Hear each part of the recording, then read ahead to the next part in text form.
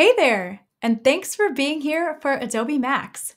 I'm Karina Anglada, and I am so excited to walk through today's topic, which is social media content creation in the world of AI. This session is relatively brief, but my hope is to keep things practical, easy to follow, and most importantly, useful for you and some of your social video workflows. Throughout this session, we're going to walk through four different things. First, we're going to walk through some useful editing tactics working with social video in Premiere Pro. Then we'll add some custom video elements using Firefly, which is Adobe's generative AI model. Then we'll use a brand new generative AI feature in Premiere Pro called Generative Extend. And finally, we're going to learn about content credentials and why it's helpful to use them in social video content. So get comfortable, grab your favorite beverage if you haven't already, and let's dive right in. We're going to start in Premiere Pro, where I'm working on this short social video edit. Now, I've always been inspired by the strength, dedication, and unity of the Olympics, so I was working on a video tribute of sort sorts to honor some of my favorite athletes and the spirit of the games.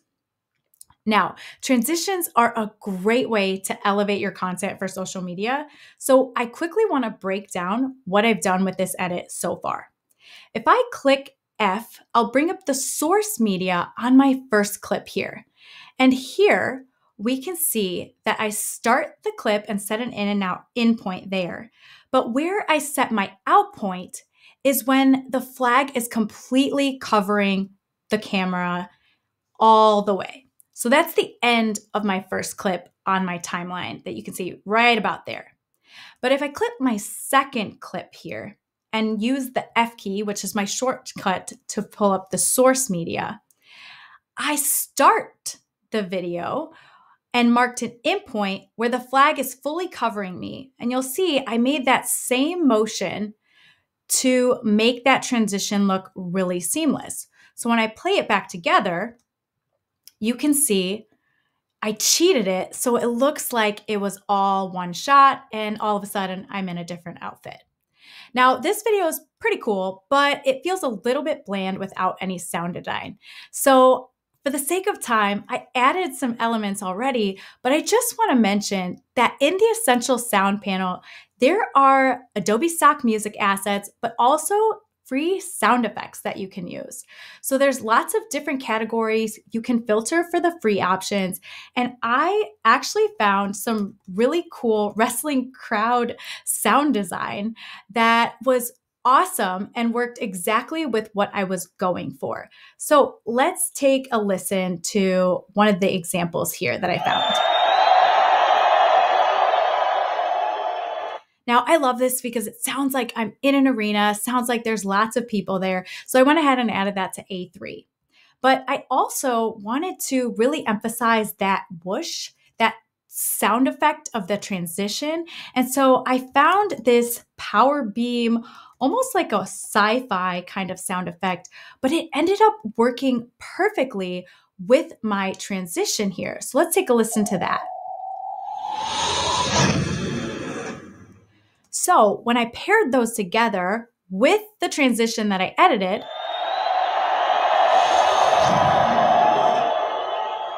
now we see that the piece is really coming to life. But I'm still missing something. And generally, I'd be super happy with the, this edit. But I know there's just a few pieces missing because the athletes that I featured both of them ended up winning gold. So I want to emphasize that.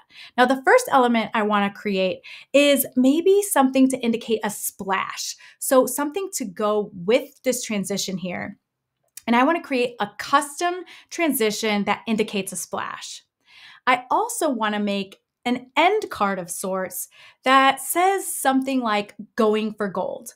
So I'm going to use Adobe Firefly to help me create both.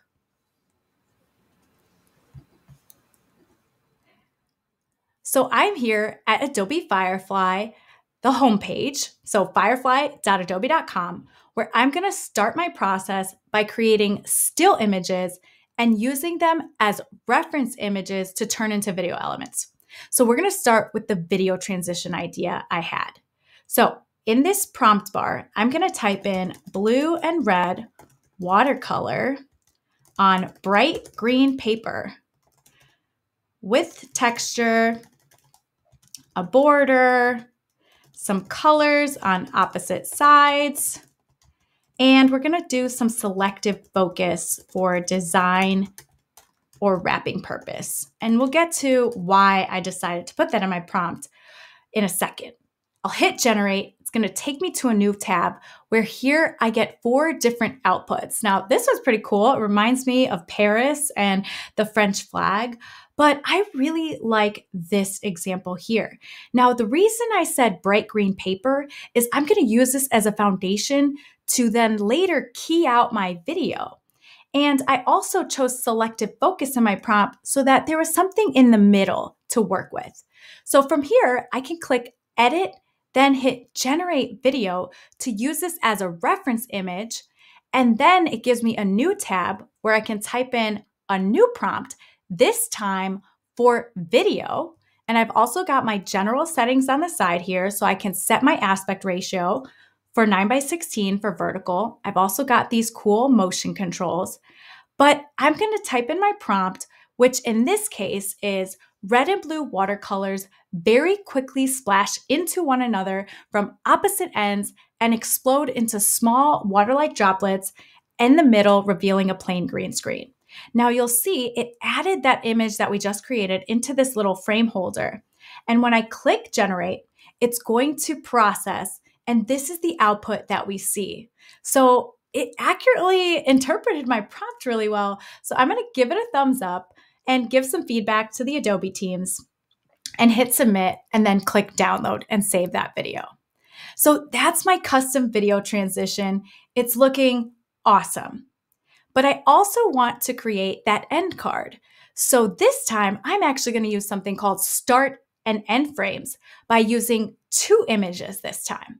So just like I did before with the original image, I'm going to use an image prompt and I'm going to use the prompt, the words going for gold written in gold metallic paint on cerulean blue plain background made of water. Now, with text effects, you got to be careful. Um, there's some different outputs here. This one's going for good.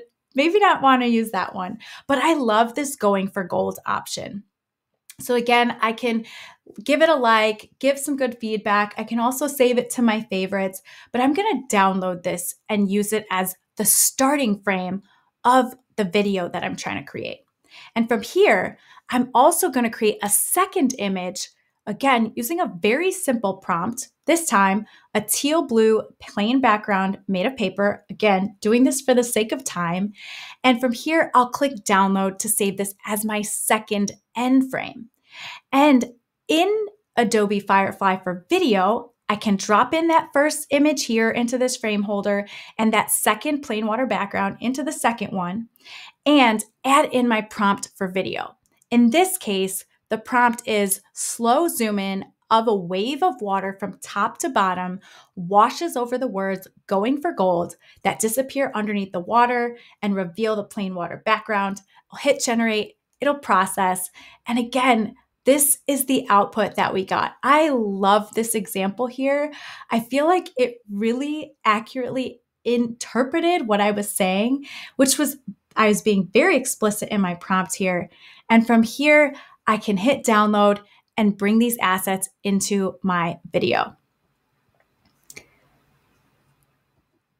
So we'll jump back here into Premiere Pro, and I'm going to take a look at my media folder where I went ahead and dropped in these Firefly video assets. Here we see this going for gold end card and the custom video transition. So we're going to bring this edit to life. So with this custom transition, I'm going to mark my in and out points here, and then I'm just going to add it to my timeline. And from here, we're going to key out this green screen background. So under effects, I can type in key and we're going to use the ultra key effect and drop it onto our clip. From here under effects controls, we're going to use that eyedropper tool to select the green and we're going to clean up the key ever so slightly. So we're going to drop down the shadow and maybe bring up the pedestal. And from here, maybe we'll add some dissolves to the start and end of this clip. And for the beginning, we'll keep it a really, really short, tight dissolve. And for the end, maybe something just a little bit longer. So let's take a look now. And wow, that's actually looking pretty good. Very different than before, but I think it's giving that splash element that I was going for. So I love this. Now, the second thing that I want to do is I want to add that end card that we created. So I'll again drop this into my timeline and I'm actually going to start the, the edit right where the water starts creeping in at the top. Now, Firefly video outputs only five seconds of video, so it's a relatively brief clip. So I'm going to add this to my timeline. And here, maybe we can add in another dissolve, just like we did before, um, to the front of the clip. Let's grab that, add that there. And maybe we'll dissolve it, keep it a little bit shorter here. And what's great about this is it's looking cool, but I need a little extra time. I want the water ripples to continue and continue with this crowd noise that I have. So, one of the things I'm going to do is I'm going to lean on something called Generative Extend. Now, this is a tool that is brand new inside of Premiere Pro, and it lets us generate new frames of video content up to two seconds and up to 10 seconds for audio. So, two seconds for video content and 10 seconds for audio. So, things like natural sound or capturing room tone. Generative Extend is the first application of generative AI for video editors. And I'm so excited because at the time of this recording, the team recently added vertical video support like this extended 9 by 16 clip. Now, there are some limitations around extending certain types of media, but the team is working hard to expand all different types of media.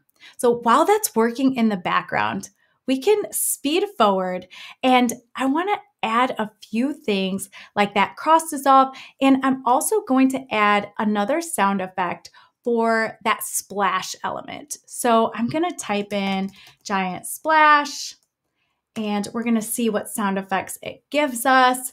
And I'm just going to add this here. We can add that, maybe add a cut, we'll add some fades. Now you see it's working in the background. But again, for the sake of time, for the purpose of this demo, I have a version that's already generated. So we're going to jump to it really quickly here. So in this second sequence that we've got ready, you can see that it shows where the generation and where it extended that media. So this black AI generated bar, I can right click it and click generate again if I don't like the output or revert it back to the original. And I can also give feedback for poor or some good output back to the Adobe teams. Now let's take a look and see how it did here. So I'm gonna mute this just so we can focus on the video. And again, coming up here, those frames didn't exist before, and it's looking awesome. It's looking amazing, and it did such a good job of continuing that movement. Generative Extend is absolutely phenomenal. Now, let's play the video back in its full entirety with sound design, with our Gen AI assets. Let's see how it sounds.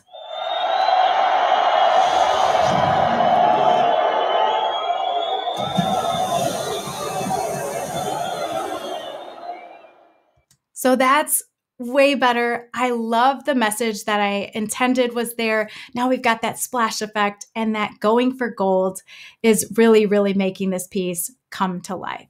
Now, I want to call out something about generative extend. Now, we're never training on your on your content. So your media is never used to train Adobe's AI model. It's only used to create the requested extension. So it ensures that your content remains private and under your control. Which reminds me, if I look at my media inside of the assets that we generated in Firefly, you'll notice there's two little icons that say CR. Those are content credentials, and it's a visual indicator showing that the content credentials are in these assets with Firefly. So, what exactly are they? content credentials are a new way to help people understand where digital content comes from and how it's been edited or created.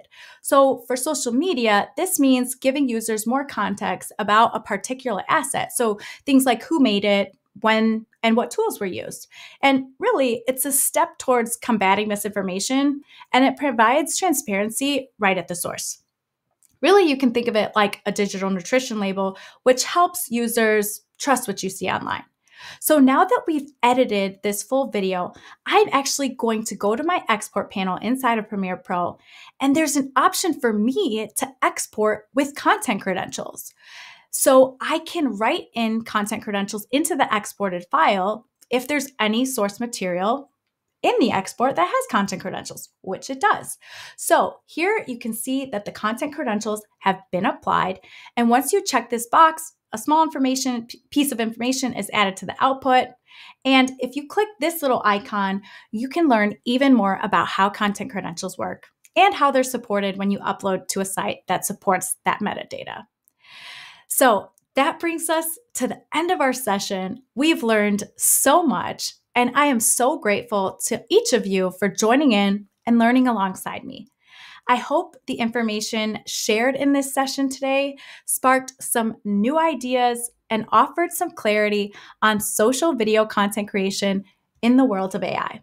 So keep on creating and enjoy the rest of Adobe Max. Take care.